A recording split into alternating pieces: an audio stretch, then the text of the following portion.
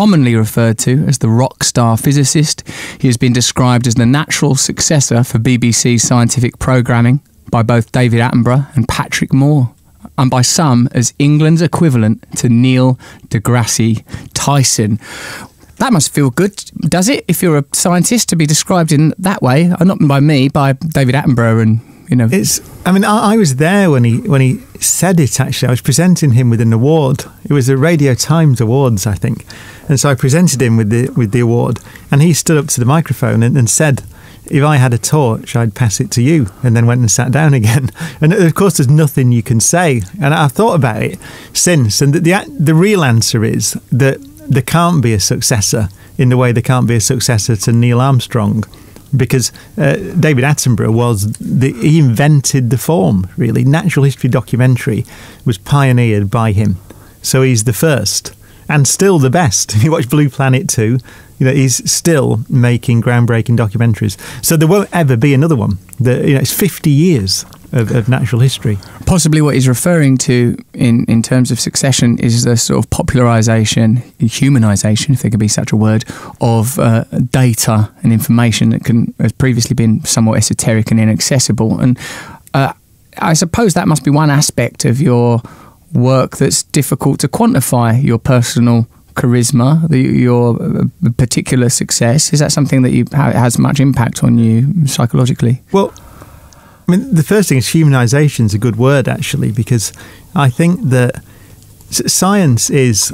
I mean, what is it? It's it's the study of nature. So, and it's it's a humble pursuit. It, it's about just looking at essentially small things and asking very simple questions, almost childlike questions. And why is the sky blue? And why is that leaf green? And what are those little points of light in the sky?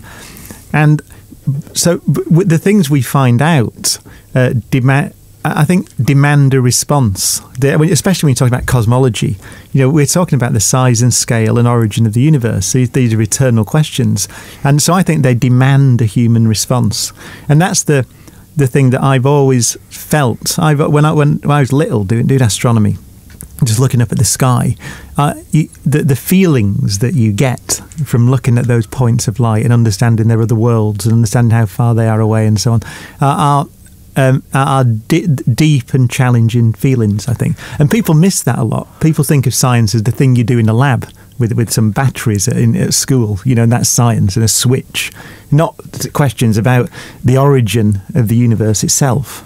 I think you're precisely correct that actually we don't spend enough time analysing that feeling and to continue the comparison between yourself and David Attenborough. What one senses is that he has a, a deep love of his subject and it means something to him and he wants people to understand it. And that's what you've just described is that when you are, uh, for you, the study of the cosmos is not about mathematics and relationships between physical ph- phenomena abstract from emotion, but very much as somehow the experience of that emotion or the realization of that emotion or certainly the relationship between those emotions. Could you uh, explain that a little yeah. further, Brian? Yeah, I think I think that science, d- the act of doing science, is an emotional response to nature, and you said you see it with David Attenborough. He, he loves life on Earth, you know, living things. He finds them fascinating, has a connection to them, understands that the idea that we are part of one unbroken chain of life stretching back four billion years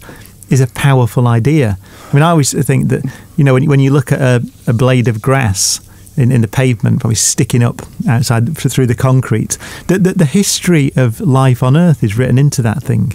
So that the more the more you understand and the more you think about the things that you're looking at, the more powerful the experiences and the more challenging the thoughts are. I mean, in that sentence, the, the, the, the fact that in order to understand a blade of grass, you have to understand the history of life on Earth. It, uh, four billion year timescales. Uh, th- those, those, those, I think, are challenging ideas immediately, and, and they're emotionally challenging ideas. So I think science is an emotional response to the universe because you become a scientist when you you latch onto an idea like that and say, "I want to know. I want to know what the origin of life was." So I can Mm. understand the things that I see today. So you, you see in the minutiae of life uh, the continuum of nature, and that that is a, a, a and through that aperture, the most profound questions conceivable uh, uh, we have to uh, imagine answers Yeah. to them. I think that all, all, all the roads of inquiry lead to uh, profound ideas, uh, and, and, always actually to the statement "we don't know." Yeah. Right? So, so we don't know yet if we ever will uh, how life began. Uh, probably it began on Earth. You know, there are theories that it came. Called panspermia, that it began somewhere else and then got, was brought here by cometary impact or asteroids. It's possible. It's unlikely though. But the, if you think about Is there any? Sorry to interrupt you, but is there any significance to those theories, uh, just philosophically, I suppose, that if life was at some point interstellar or intergalactic, that it, it interrupts the narrative of life beginning of, on at this point? Is there are there profound philosophical implications? Is it relevant, and is there any reason to believe it might be true? I think it doesn't matter philosophically because it had to begin somewhere. Mm. Because we know the universe um, was hot and dense 13.8 billion years ago, which is a thing we call the Big Bang. And we know that there wouldn't have been any life around then. I mean, it's just the physical conditions were far too extreme. So life began somewhere. And the way I like to look at it, it it let's let's say it began on Earth. It doesn't matter though; it could have begun on Mars or somewhere else. But the, the argument's the same. It means that geochemistry became biochemistry. So what happened somewhere, and most likely on Earth, is that a, a dead planet, but an active planet with with you know a hot core and volcanoes and those things. Uh, chemical reactions happened in the oceans which changed from geology and geochemistry to biochemistry. And that's a profound thing. So, so the planet did almost certainly gave birth to us, which is a quite a nice, it's an ancient philosophical idea. The Very- planet gave Mm. birth to us. But that's very likely like the true. Gaia idea, I suppose that yeah, that the Mother Earth in a very literal sense. It has to, it has to have. So, what about the the distinction between uh, geo and bio uh, uh, life? Why why is that so significant? By what meter, by what metric are we understanding life? If there is a meteorological system that can produce life, is that not in itself life? Well, it's yeah. It's, so it, it's almost a semantic distinction in a way. I mean, it, you- you're right. It's still just chemistry. And so, when does geochemistry become biochemistry? Hmm. So, the standard answer would be when molecules begin to self replicate. So, that would be so, so information can be passed from generation to generation. Once you've got that, then you have evolution Wow. and then you have life. So you've got to have some physical, chemi- chemical, some molecule that can reproduce itself, and the information in the structure of the molecule is passed on to the copy. And once you've got that, I think you you basically got life. That is determined as biology. We can see that as biochemistry, self replicating molecules. Prior to that, it can't be tracked or understood in that way. Yeah, if, if you've if you've got a system which can't pass information on, then you can't have evolution. And if you can't have evolution, you can't get the, the, the life that we see today. Never mind, you can't even get single celled organisms because they're very complicated bits of chemistry. Are they? And the key thing is, how did chemistry get so complicated? And I think the key to that is that you get something that can pass information. So you don't lose information, you add information from generation to generation. Professor Cox, this distinction between geological life and biological life seems contingent on its relationship with us as the observer and how we narrate that transition. As you said, it's almost a semantic distinction, as in it is in both forms, it is chemistry. Is it not possible that our role as observer and the way that we narrate information is the true determinant as opposed to the, the, the observable and obviously extremely significant fact that cells are now self replicating. To us as observers, that's extremely significant. But only perhaps to us as observers, given that, you know, in this great scope of 13.8 billion years, all that's happening is some great uh, aria of creation. It's a really important point, I think. You're talking about the, the value of consciousness in the universe, the value of civilizations. Um, we know of one place in the universe where there are, in Richard Feynman's words, atoms that can contemplate atoms. That's what we are. Now, and, and that, to me, is that we are the most valuable structures that we know of in the universe. Now, now when I say that, sometimes people get very, you know, people are liable to say things like, "Oh, humans are damaging the planet, and we're better off without them." This is nonsense, right? The, the the point is the most remarkable thing about our physical universe is that there are places where atoms can contemplate atoms. Uh, one place that we know of. And that might be, we might be quite rare. We don't know. We, we've looked a bit and we've seen no sign of anyone else. We, we've, it's called the Great Silence. Astronomers call it the Great Silence because we listen with radio telescopes and we look out into space, see no sign of any other civilizations. And so it could be quite a lonely existence that we have here, but therefore very valuable indeed. Whilst I understand the necessity for science as the study of nature to be based on evidence. In fact, indeed, that is its essence, that is its modus operandi, that is what defines it. Does not the, the requirement that until there is evidence, we stay with the assumption that there isn't, even though we don't know, is parenthesized. Doesn't that lead to a sort of, do you not think that somehow facilitates the dogmatic aspect of science, which has meant that it's sort of science has become somewhat doctrinaire and informative of areas beyond the humble study of nature and has become, in fact, a kind of ideology that leads to materialism, rationalism, and all of the other things that well, are on that particular evolution evolutionary chain? I I hope not, because it shouldn't. It shouldn't, should said, it? But it, do you think it does? I'm just I'm talking about great scientists. I've just not been able to drink tea properly. Uh, Professor, apparently, don't put that in your nose. If you inhale it into your lungs, no, that, that won't work. No, I've read about that. No, the esophagus. It's got to go straight yeah, down into right. the tummy. But then there's chocolate and lemonade are made at a later point. I, I think it, science itself, it, it, it is, it's, it's humble in the sense that it's about paying attention to small things, and that's it. So if you think about an example, would be Einstein's theory of general relativity, which is the framework within which we do cosmology, which is the study of the universe. So these are grandiose aims. You know, we talk about the origin and evolution of the universe. That's a big idea. But Einstein's theory of general relativity was conceived as a theory of gravity which is a theory of how things move around in the vicinity of the Earth, and that's it. So it's talking about if you throw a ball in the air, what happens to it? Now, perhaps how the moon goes around the Earth or the Earth goes around the sun.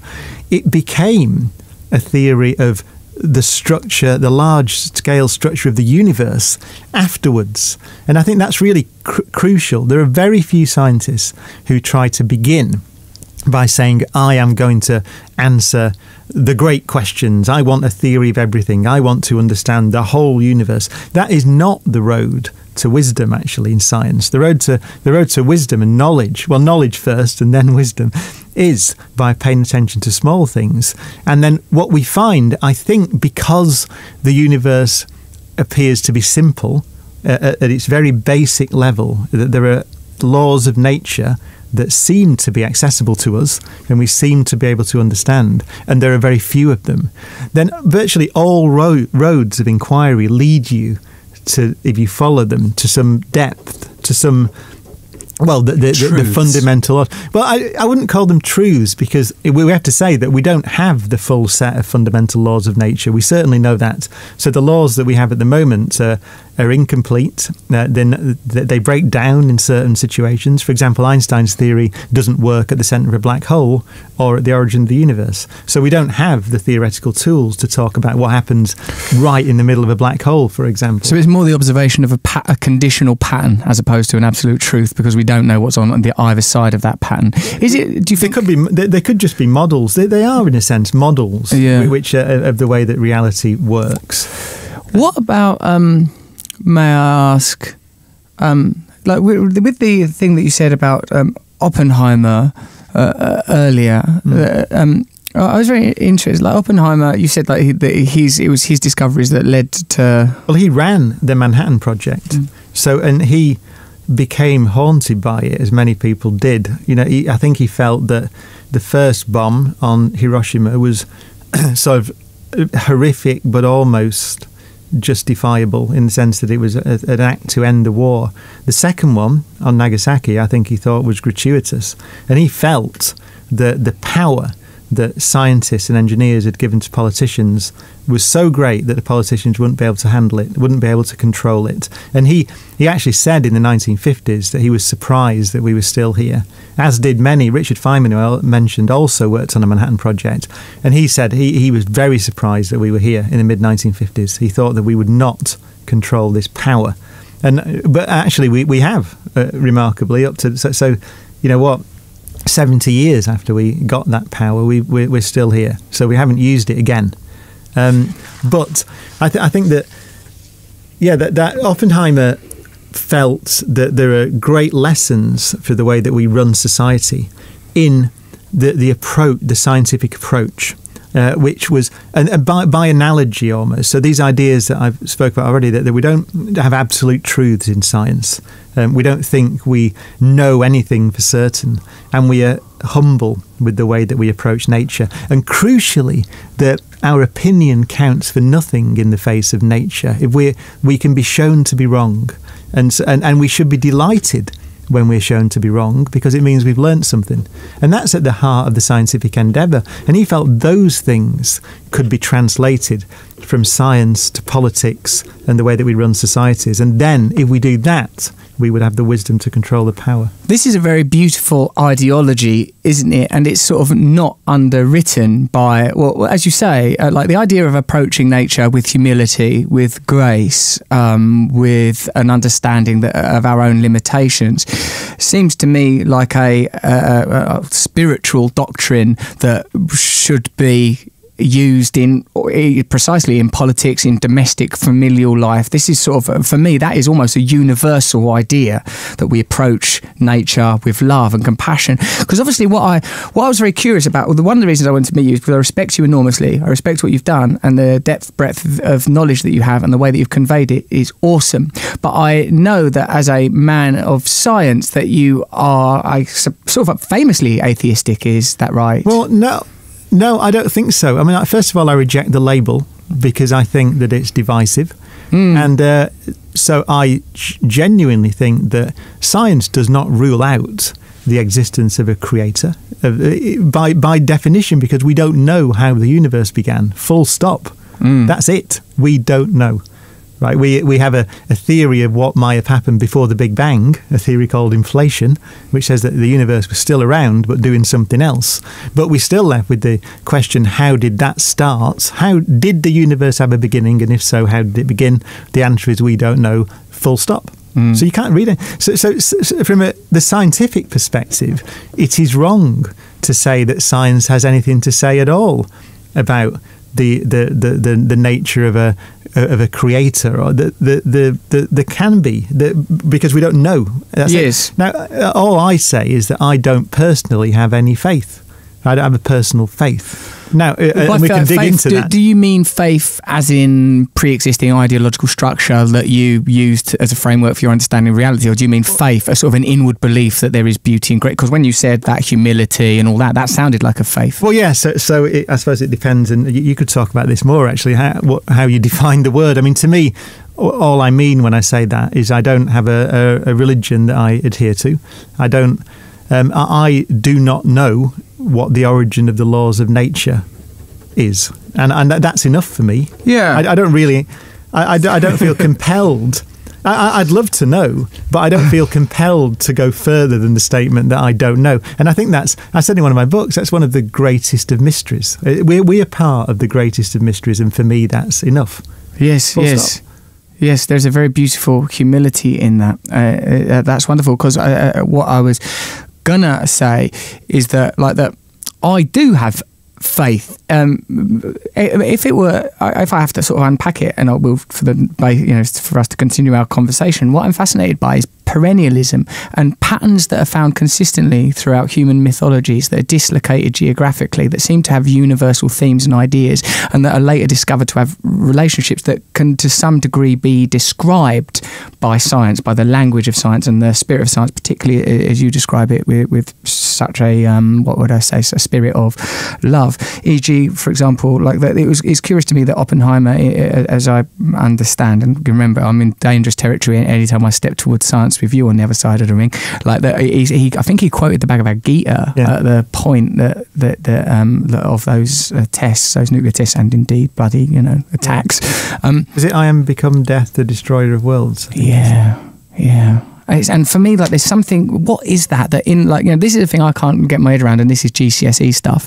Is that contained within, uh, as it was then, this you know one of the smallest components of our physical reality, with the capacity for such enormous destruction. That there's inconceivable energy withheld like that. I mean, like the- that. Now, the reason I'm curious about it is because there are inferences in religious scripture that seem to be trying to describe that, that that within the infinitesimally small there is great power that there is limitless that all things are endowed with consciousness. These are the sort of I, like you know, when I approach religion I don't sort of pick one particular book and go oh, right I'm with these guys and, and anyone who's not with it I'd like to see them killed.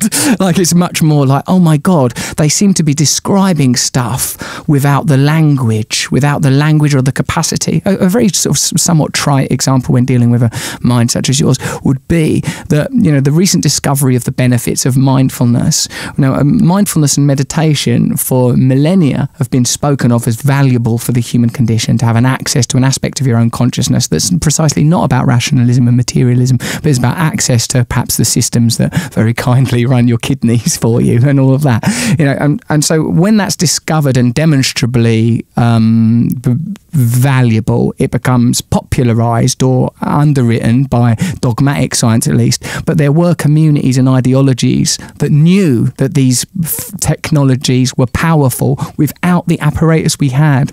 And I think contained throughout Scripture, people are talking about oneness, unity, respect for nature, the na- uh, the nature of the soul, the nature of consciousness. And it's only from for me, whether it's from a scientific background or a religious background, it's only when it becomes doctrinal or people go, "This is definitely the answer, fuck you," that it becomes problematic. Yeah. That, Yeah, and I think, I mean, so I would say that I, I don't think that I think the way to access, um, to, the way to build models about the way that nature works is to observe nature, right? Which is essentially the scientific method. Yes. You observe nature, you come up with some model, you test it, and if it doesn't agree with what you see, then it's wrong, and you throw it away, or you. so- but so I suppose really, if you think about the human condition for, for many thousands of years from the time when we first had such a thing, it, it's about it's a response to nature. So uh, everything about being human is about responding to nature.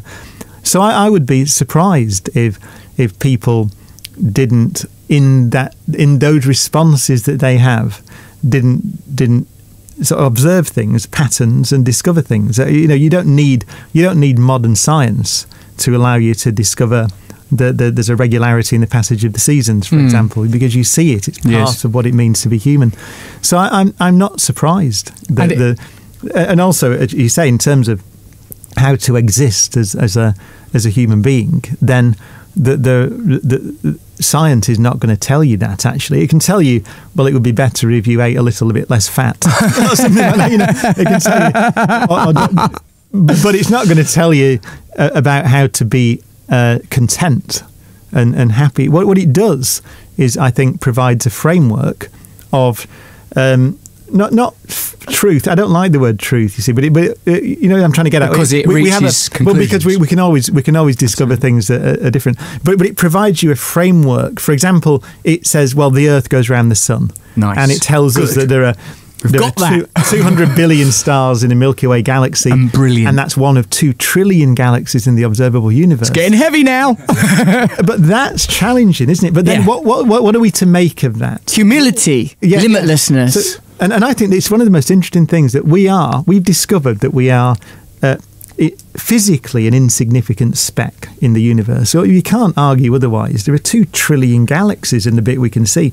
But yes. at the same time, there's the idea that consciousness, atoms contemplating atoms, might be very rare. And therefore, we can be valuable and insignificant at the same time. And this is what Oppenheimer meant by, where in his lectures, I spoke about them, uh, not on the podcast actually, but on the show earlier, that he talked about the, an idea called complementarity, which comes from it came from the early quantum mechanics studies, people like Niels Bohr and others, And it is actually, it comes from Eastern philosophy, I think, this Yes. idea that you have to hold mutually contradictory, apparently mutually contradictory ideas in your head. You have to in order to get a full picture of reality. And uh, th- now that's true in interpreting quantum mechanics. Yes. And what he said is what you've already referred to is that people have known this for a long time, that you, you also have to do it to understand the human condition and Yes. how to run a society. And it's a, it's a, it's a very good example of how science and deeper philosophical thinking intersect. Yes, yes, that's that's fascinating and beautiful because I suppose what's uh, implicit in that are quite fundamental ideas around objectivity and subjectivity, the inner and outer worlds, and the way that they relate, and it, it is our our our tendency to regard the world from see from an individualistic perspective uh, po- leads potentially to quite a lot of problems. One of the things that I'm very curious about, and like I know that you're you know like rationalism reason and what's demonstrable is hugely significant and important. But what fascinates me is that it seems that it certainly in earlier times people were relating to their own consciousness in ways that somewhat defy our rational understanding. Like people were having sort of yogic meditative trips and now people like you know through ayahuasca and peyote and you know shamanic plants that people have always used have uh, different experiences within consciousness that tackle the sort of ideas that you're saying science deals with now empirically and rationally and necessarily. But the fact that there may be other avenues to you know again I would be reluctant to use a word as absolute as truth but th- there are different avenues to understanding different avenues to insight. Fascinates me with the construction of mythologies, as you said, man is continually relating to his environment, shaping to envi- shaped by his environment. Uh, the, the the basis of well, one of the bases, I'm sure, of evolution is that the way that we relate to external conditions, and of course, those conditions vary. And uh, uh, anthropological cultures that were uh, early adopters of agriculture have myths that demonstrate that where gods are sacrificed and put in the ground and hunter societies tend to be more individualistic. You know the myths evolve to represent natural circumstance demonstrably. But what i'm interested in uh, one of the things i'm interested in professor is how can we use, as we've just uh, touched upon with that uh, idea that Oppenheimer said that, that it itself echoed a spiritual idea, uh, how can we use what we learn in science to inform our societies in bloody difficult times politically and globally? What values can we extract? Well, there, there are. I'll answer that, and then I want to go back to something you said, which about routes to insight, which I thought was really interesting. But uh, the answer to that question directly is that um, Oppenheimer pointed out. So, if you think about political philosophy, the way that we organise our society, so you might think that there are mutually contradictory axioms. So, for example, one could be uh, freedom of the individual. If you're libertarian, uh, extreme libertarian, you think that individual freedom is the most important thing, and you might be prepared to compromise a bit and build something in order to have a society. But ultimately, you're talking about freedom as the the base, the basis. Whereas if you're on the if you're a, a, a communist or further to the, to the left, you might be think that society is all that matters, and you might reluctantly build a bit of individual freedom in. And what Oppenheimer was saying with this idea of complementarity is the two ideas of freedom and society are inextricably linked. They feed off each other. They are both necessary for the other to exist. Mm. So you can't have freedom without a society, and you can't have a society without freedom.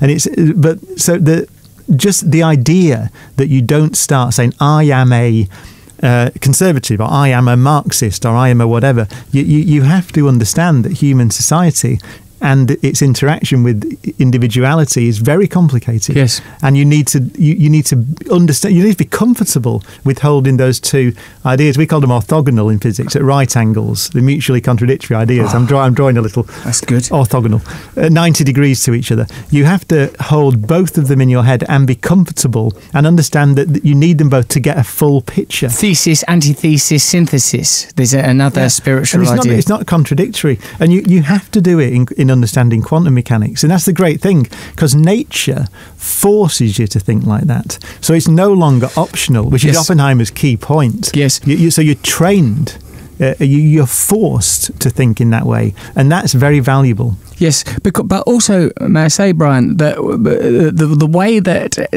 the semantics and these systems of taxonomy actually operate is a word like freedom is determined by the powerful. So freedom ultimately becomes, in what we can say in our society, freedom within limits, and ultimately freedom to consume, freedom to behave in accordance with these ideologies. This is what freedom means. When political figures talk about they hate our freedoms or they're attacking our freedoms.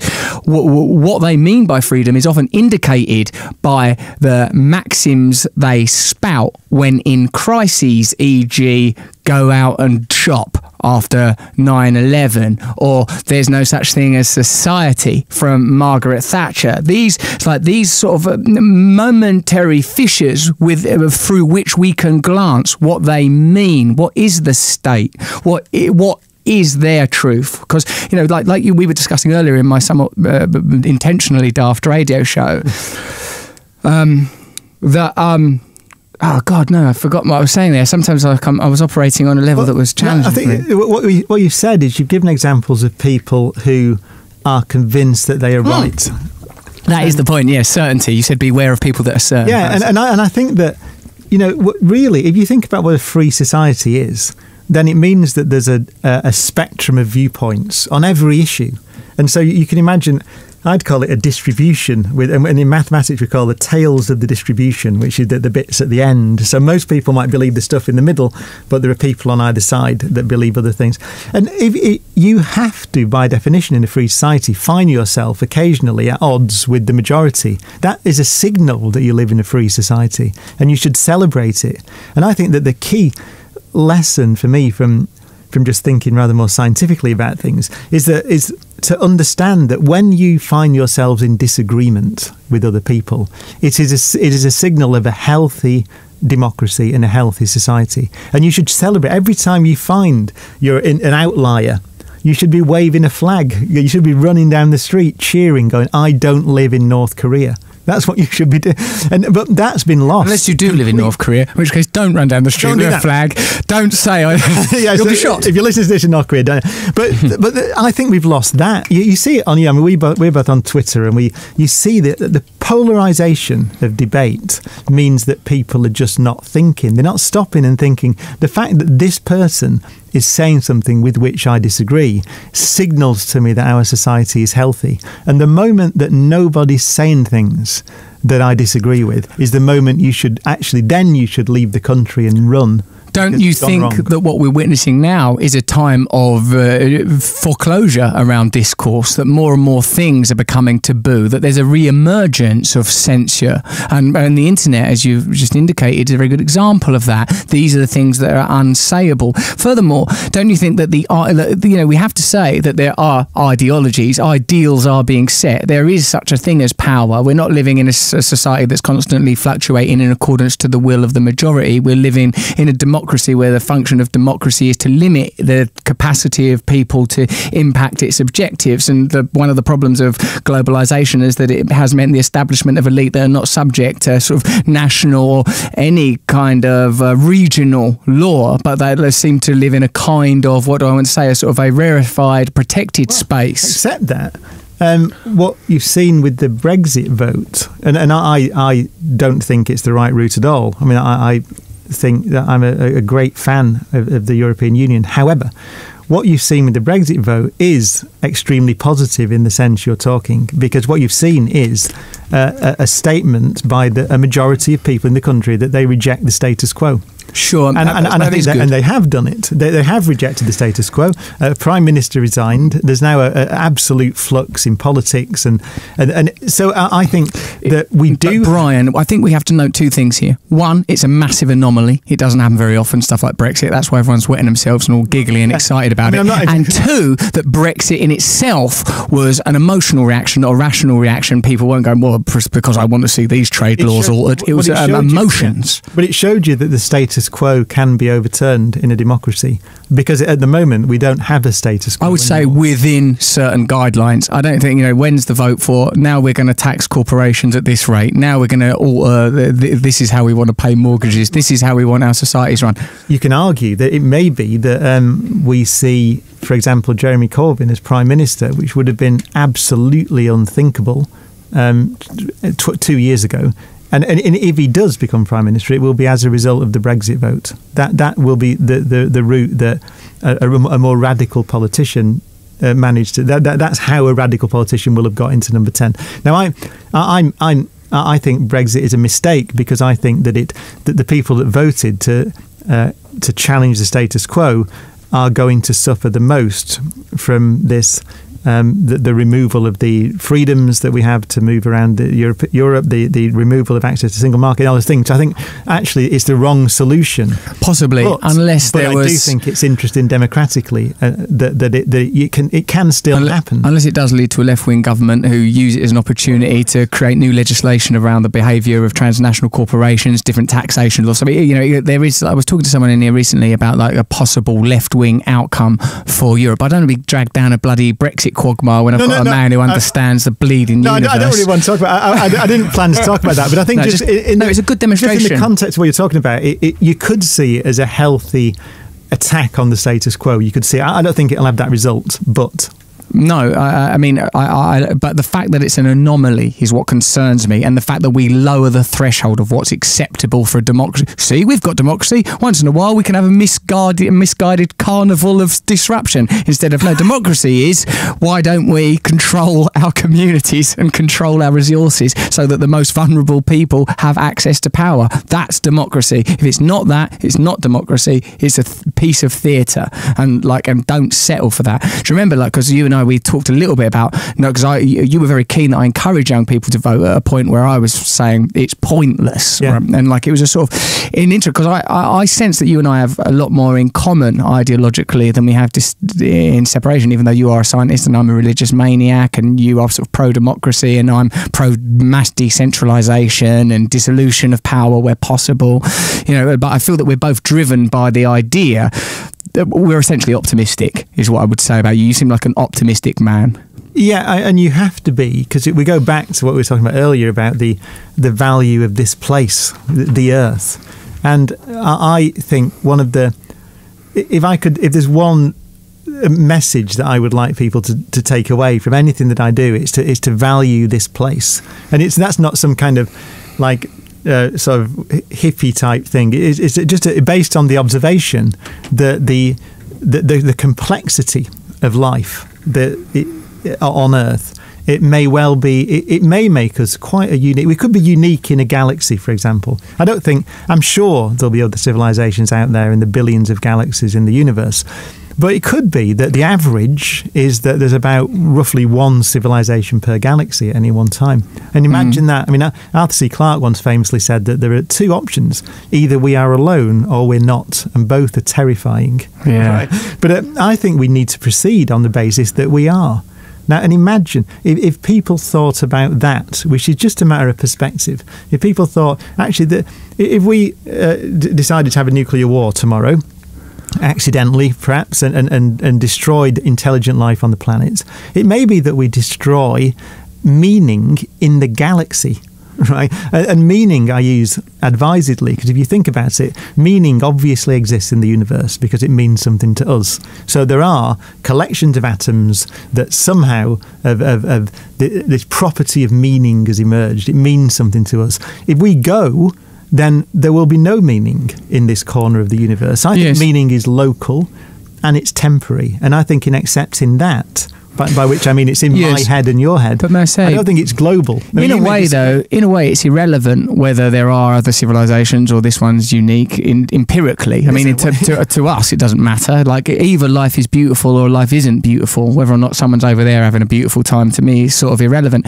And also, terms such as local and temporal are highly subjective terms, as we have already established, that refer to patterns themselves that exist within a context, and our consciousness relates relates only to that context. So the meaning that emerges, it, like you know, whatever this thing is that transitioned from unlife to life through various gradients, geological to biological, and whatever preceded that and whatever follows that, meaning is one of its components. It's, it exists as organically as trees.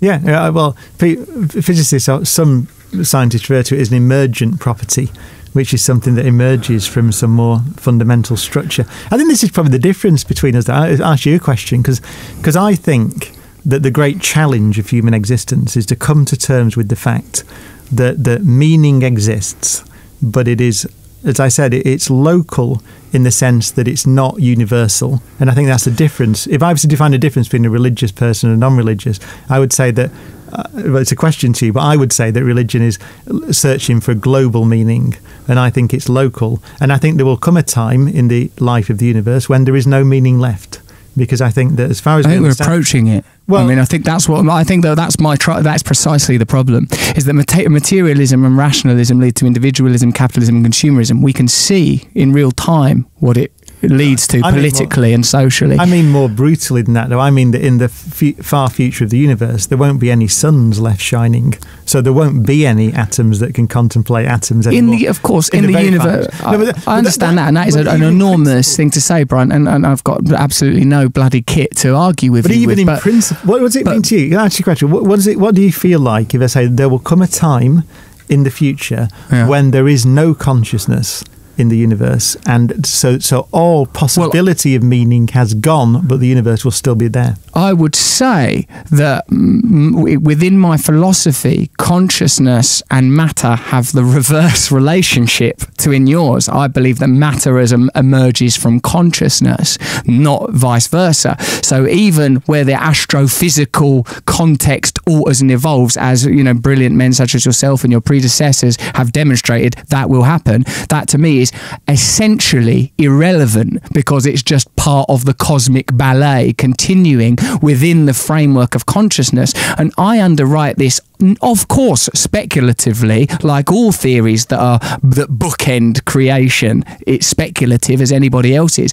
But for me, uh, the the preceding the Big Bang, there is consciousness, consciousness that is not individualized, consciousness that is not expressed through matter. And this is not something that I would narrativize or use to underwrite or support any particular ideology. It's not like you know a consciousness for white people or a consciousness for Muslims. Pure consciousness expressing itself through matter, and that these patterns and habits that are so beautifully delineated, these rules that are discovered, these rules that Herman Melville describes as all human sciences but passing fables, as we discover what lies beyond them. Like that, these are an expression of this consciousness. So when eventually whatever it is that exists instead of human beings are consumed by the sun, that doesn't matter to me because individuation, I believe, is temporal. That I am just part of a whole consciousness temporarily occupying this individual. Or I can't put it any better than Bill Hicks. We are one consciousness experiencing itself subjectively. And I would say that the reason that geology becomes biology is because the geology is conscious, that consciousness is in all things. And the reason that we should love nature and love the earth and love one another is because we are all one. And there are motifs for this throughout our culture. Why are we moved by heroism? Because a person sacrifices themselves for another. Why? Because they know in inadvertent commas, on some deeper level that there is no distinction between self and other. This is merely the grid of the senses dealing with physical information. The experiencer receives this is inside, this is outside, but ultimately and essentially, those distinctions are animalistic attempts to understand limitless phenomena. So that's why it doesn't matter to me. Although I would say, like you, we have to regard this thing with love because love, in a very Christian sense, actually, like C.S. Lewis says, you feel like you're rewarded when you do a good thing, and when you do a bad thing, you know that was bad. So let's just go with that. Be kind to one another, love one another, let people believe what they want to believe. So mine comes from that, and I'm not ashamed of the bits that sound a bit hippie because for me, love is an energy, love is a force, and whilst it's difficult to quantify and measure, without it, we are nothing. See, I think my view is. Uh, it's it's certainly bleaker, right? But a, what's the point in that? Well, but but I think that actually the the road to I would say that the road to wisdom is is the, the, the, the most challenging question that I face, given that I'm saying that matter and energy and the laws of nature exist, and then life emerges from them, Mm. and then uh, there will come a time when there's no life. Uh, so that that challenges you to say what is the value then of life, um, given that it is temporary and it emerges and it will go away again, and there will be a time when the the Mm. universe is dark and there is nothing left. And and I think that It that, seems like you get some sort of delight from well, that. no, I, I do because I think that the, in the sense that the the it, it, peace, right, as a human being, I think comes from finding your accommodation with your temporary existence and and le- and learning that it's so. The, the, the temporary nature of it to me makes it more valuable. It's Mm. that a finite, there's a tiny amount of time. It's nothing in the life of the universe. A tiny amount of time when we, not only individually, but as a human race, can exist and explore and love the universe. It's a finite, tiny amount of time. And I think that's a much more difficult accommodation to come to. It but I think that's where I think that's really I think that's what reality is. And so Yes. we've got to come to accommodation with it. But I think in that accommodation is the way you learn to love the planet and the people on it because you learn that they are temporary and valuable and fragile. As long as it leads to that conclusion, it sort of doesn't really matter. But what I will say is we- we've, we've already acknowledged in the in this brief interview that our understanding of, of the temporal framework and the spatial framework are sort of breaking down the more we examine them. So why would we continue to use that framework to conjecture billions of years in the future when it's breaking down right now? Well, can, I mean, the way we do it, by the way, is, is to get back to science, a thing called a Friedmann equation, which comes from general relativity, from Einstein's theory, published in 1915. And, and what Einstein's theory tells us is that there is a, a given thing, which is the fabric of the universe. It's called space time. So there's a thing. And it doesn't tell you where it came from, it tells you there is such a thing. Hmm. But it does tell you how that thing stretches and warps and deforms and changes in response to the matter and energy that are present in the universe. Hmm. So you can calculate, given this amount of matter and this amount of radiation and dark matter and dark energy and all that, given all that stuff now, what will it do in the future? What is the response of the fabric of the universe in, to this stuff? And that's what enables us to say with some confidence that unless there's new physics that we hmm. don't understand, and there might be, but given what we know now, the universe is, is accelerating in its expansion, which we observe, and it will come to a point where we think it will just double continually in size every 20 billion years or so, forever. Yes. And we can make that prediction given what we know now. So there is that's the baseline. So the baseline prediction is we are in a universe that will end up in what's called an exponential expansion, doubling in size every 20 billion years or so forever. Beautiful. And life cannot exist indefinitely in such a universe. Of course not, but that's that's necessarily a linear equation, and reality may be fractal, may be spiral. Right at the basis of that theorem is the acceptance, and we don't know where it comes from or where it's going, and it infers that it's you know, as I know you've talked about a lot in your programs, it's expanding into apparent nothingness. But don't you see, like that, our linguistic and indeed psychological tools and neurological tools, I would imagine from your perspective, start to break down, and so this is again where I sort of uh, uh, invite sort of you know faith. just, I just want to say one thing. It is a theory that is tested. So it is the theory that allows us to build, for example, the satellite navigation system. Yeah, So quite. I'm not having a go at bloody Einstein it does- or satellite navigation it systems. does work. No, Uh, no, of so- course so, it does. yeah, but that's- wi- that's- within, but it's a model. But but Brian, when you say satellite navigation systems, fast, fantastic though they are, these are not tools that we're going to use to measure the expanse of a universe doubling in millions of years. This is a localized bit of information that applies to us as carnal Little beings. I mean, just just a, a quick explanation of how we know it's expanding at all is is because it's a simple observation that if you look at the light from a distant galaxy, um, then you find that it's stretched. So quite literally, I mean, the colour's changed. It's called red shift. So it's a light has a wavelength, and the long wavelengths are red, and the shorter wavelengths are blue. And what you find is light that should have been blue because you see it coming from a particular kind of atom in that galaxy is actually now red. And the explanation is that space has been stretching during the time the light has been travelling.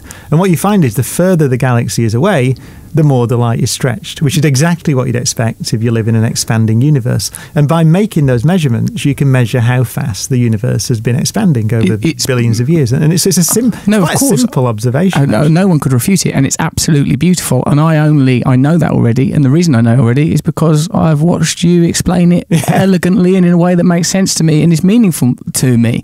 But what I would add to that is we see red, we see blue. We somehow within our minds experience red, we experience blue, we have eyes, we have senses, we live in this realm where something is experiencing something. And like you uh, said, atoms experiencing other atoms. Now, what we have to continually acknowledge is that, the, there that there is a finite ability to understand information. There is evidently limitless information. At some point, we're going to hit a wall and you know and continue the one what exists beyond that is theories conjecture imagination. And it's curious to me that it, steeped in our theological history there were people speculating in similar ways and reaching similar conclusions. Of course no one can as, um, as accurately say that's because space is stretching so you experience red as different because waves travel different through the different density of space. And people aren't saying stuff like that. But people are speculating and trying to understand the phenomena of limitlessness. Reminded The- me, yeah, and you reminded me about something you said earlier. Oh, that yeah, yeah, insight. About, which is this, which is that. So, so I would say that wh- where I would, I would disagree with you in, in a sense, in that the uh, finding out the way that nature works, I think is the is is is only done through what we might loosely call the scientific method, right? Which is which is making observations and building theories and checking them. Mm. However, it's not surprising to me that someone had a thought a few thousand years ago which turns out to be in accord with what we discover. I, I, where I would disagree is I don't think that they had those thoughts by some royal road to the truth or something. I don't think that. I think that they. So, so let's say that you, you say in, in some context, a religious context or theological context, a few thousand years ago, we think that Let's we just live- say, for the sake of argument, in the Quran. well, yeah. well, no, put it back, back, Gita. They're less leery.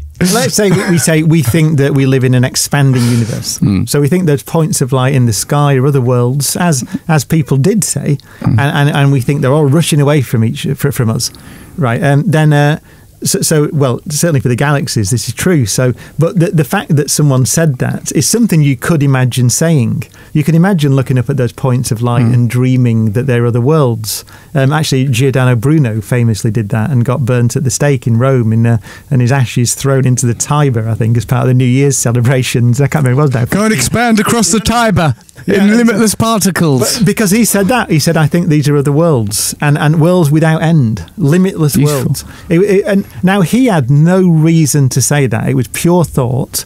But it's something that you can imagine someone saying very poetically. Now he turned out to be right, but I don't think that. I think the fact that he was right was coincidental. I don't think he had some path, route to knowledge through meditation I don't think there is a route to knowledge of nature through meditation. There may well be, I'm sure there is, a route to inner peace and a better understanding of yourself and your relationship with nature.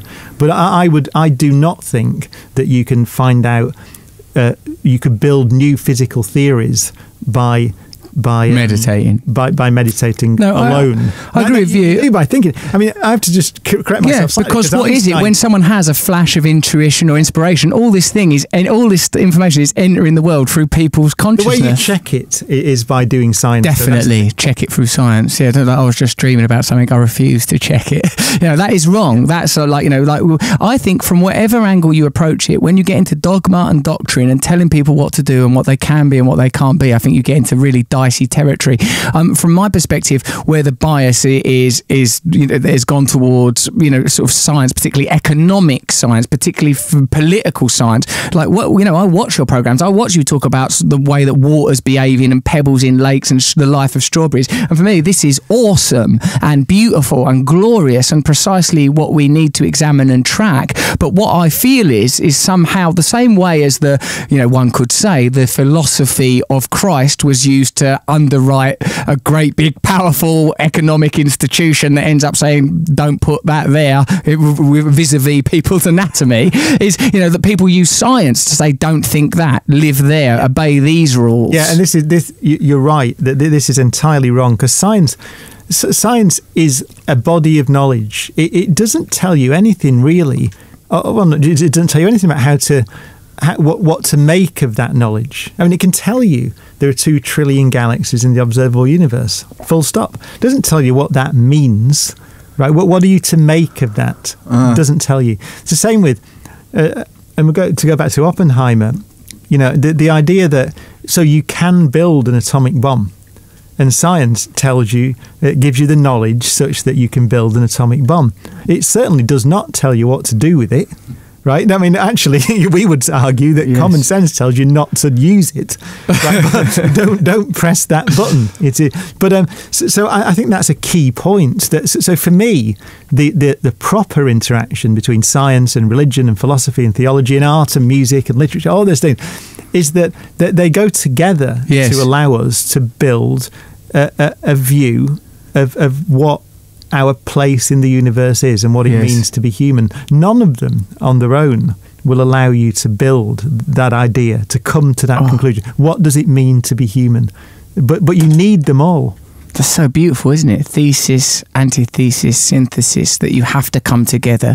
And that means that one of the things that you've mentioned uh, a lot, Brian, is humility, that, that there needs to be humility in all these communities. And, and in a sense, an idea of an objective, like you said about sort of uh, with the libertarianism, ultimate individualism, communism, sort of a, a version of uh, subjugation of the individual in favor of the state.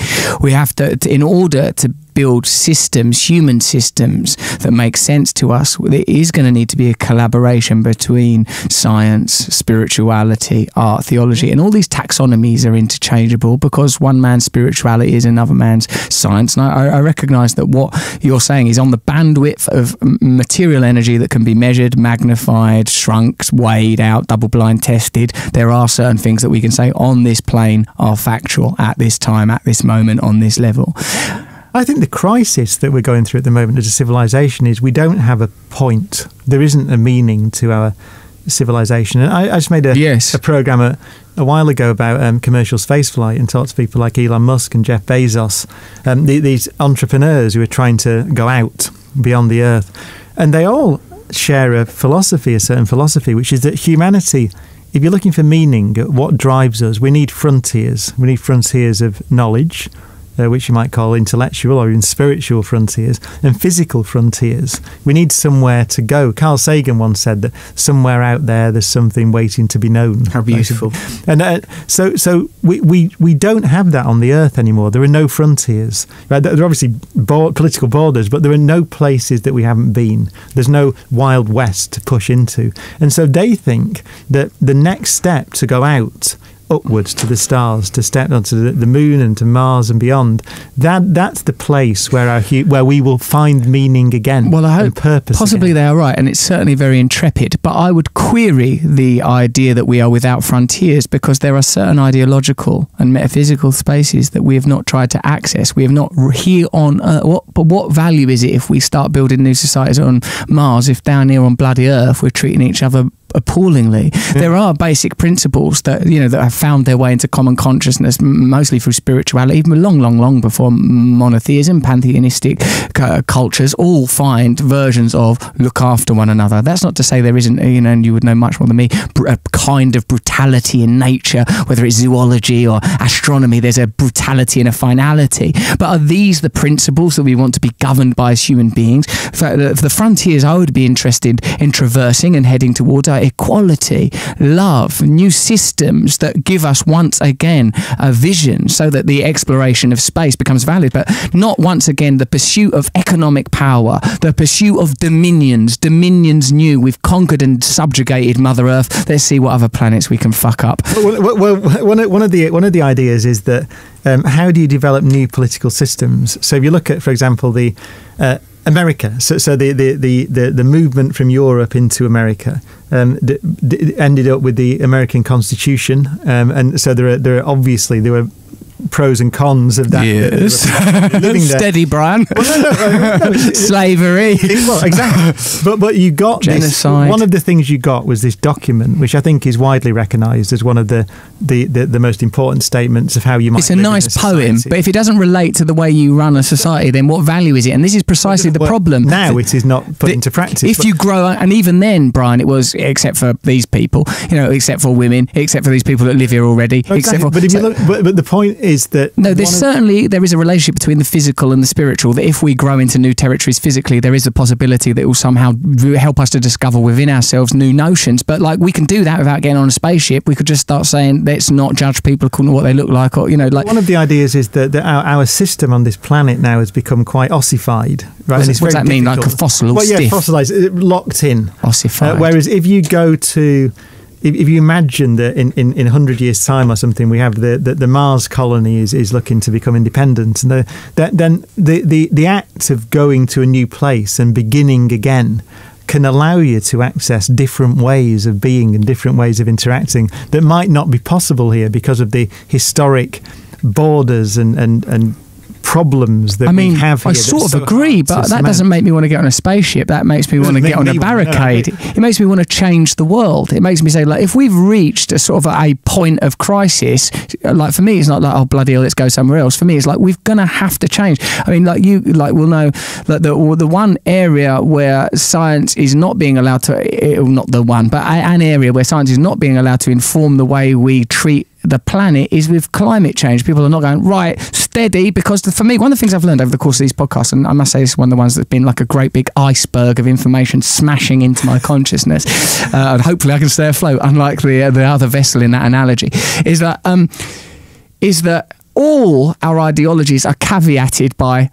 And as long as it doesn't affect the interests of the powerful, we must do something about climate change. As long as it doesn't affect the interests of the powerful, we must have fairer systems. As long as it doesn't impact the interest. So for me, it's about finding ways of impact the interests of the powerful. Until we are prepared to do that, until we're prepared to address that frontier, there's no point in jumping on Elon Musk's spacecraft or saying, yeah, perhaps it is a virtual reality experiment. We have to start saying, right, ooh, what is happening? Right, these people are behaving in this way. Right, well, that's got to be regulated and stopped and stripped. You're right. I mean, uh, interesting though. Jeff Bezos, who's the Amazon CEO, who's got this company Blue Origin, um, he said to me, first of all, why is this company called Blue Origin? Because it, it refers to the Earth, the, the blue origin of humanity.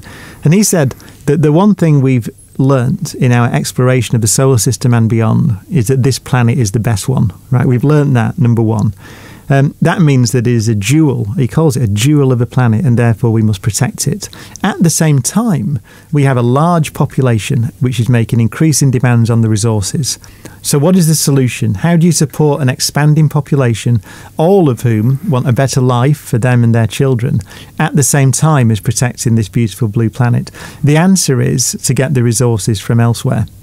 That's the answer. Well, that's an answer. Another one would be to start prioritising the health of the planet above economic needs. I mean, Well- like, as long as you've got capitalism uh, in the form it's now in, which many people would argue is way beyond capitalism, then then it's inevitable. And what Marxist critical theory, the, the first discovery, page one is this is a limited resource. We are it cannot provide limited growth. Well, in, in So, I s- think right, that's gotta go You then. may well have a. You, you can argue that you have a point in in Europe, North America, um, the West that you might call it. But if you talk about sub-Saharan Africa or India or large parts of China, um, it is difficult to see how you can lift those people out of poverty at the same time as reducing the demands on the planet because those people are there and they live in poverty. And it's right that they aspire to a better life for their children.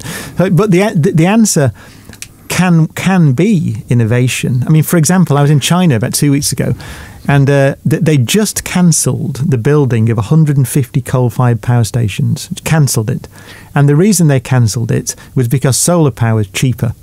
So it was absolutely purely. It was partly market-driven decision, partly because they have a problem with pollution in the cities. But it, but it, the point is that innovation has delivered a solution because solar power makes no impact on the planet at all. Beautiful. So, like you know, so once you know that wisdom is acting on knowledge, once with that the facts just in, the next thing should be a round of phone calls like, "Hey, guess what? Now solar power only, as quickly as possible." now, that- who do, do. whose interests do you challenge when you make that edict? You know, so well, uh, well, actually, I've got to say very quickly. I know you need to finish it. It says two thirty p.m. You've got to stop. But, uh, guess where I'm going? I'm literally going to church to do a reading. do you know? I was talking to Brian Cox earlier today, and uh, But but uh, there's a guy sat next to me on the panel, and he was a Hong Kong uh, property developer, and and, and he said uh, that the one of the things about China that, that's rather which is good. Is that the, the the interests that those fossil fuel interests like those big companies that it doesn't it doesn't exist in China the, the the ruling party make the decision they made a decision based on mm. we don't want pollution we want less pollution because it's killing our people and we want cheap accessible power. That is solar. So immediately I will draw a line through 150 the contract for 150 coal-fired power stations, and I'll change it to solar panels. Done. And and he said he he argued. I there are obviously counter arguments, but he argued that that's why Have China will, will, authoritarianism. will. He said to me, "That's why China will beat you." It Yeah. will beat you because we will make decisions like that. Now we could debate that for a whole Certainly other hour, could. but it's interesting. And one thing that sort of is, is distinct is that China comes from a different philosophical tradition, has a completely different Weltanschauung, so it's able to, to make decisions like that, not just because of Maoism and post-Mao communism, but because of the philosophies that preceded it. Brian I just want to say, just because uh, when people are listening, I, I know that there are big problems with human rights and all this thing in China. I'm not waving the flag for the Chinese system. I'm just saying there are systems within which those interests matter a lot less. Yes, there are, there are, and that's the, what is interesting to me. What what I feel, Brian Cox, is that you have been kind of, uh, in my language, a uh, a prophet and an educator and a swami for such valuable, beautiful information, and uh, like uh, who knows what the future holds. Uh, for me, you know, you get my vote on the next David Attenborough deal. Like, I mean, like I, I see you as very much the human voice of science, but for me, like as you have indicated, there needs to be many voices in the human conversation for us to have a chance. And uh, uh, uh, once again, what I feel like is that there is much to learn from the realms that can never be empirically demonstrated. And uh, like I know that sounds quite high-minded, but I'm simply talking about love and kindness and the ability for ordinary people for to have their needs met and to have Carl impact Sagan- on the powerful. Carl Sagan said, "For small creatures such as we, the vastness is bearable only through love." All right, Carl Sagan. Let's give him the last word. Brian Cox. I want you to, uh, on record, make a commitment to come back and be interviewed again. Would you do that? Yes, whenever you want. I enjoyed it very much. I will be back tomorrow if you want. I, I really love So talking to you. I thought it might get intense because we're coming at things from quite different positions, but I absolutely adore you and I'm very grateful to you for the education. Thank you. I've enjoyed it very much. Thanks, man. Cheers.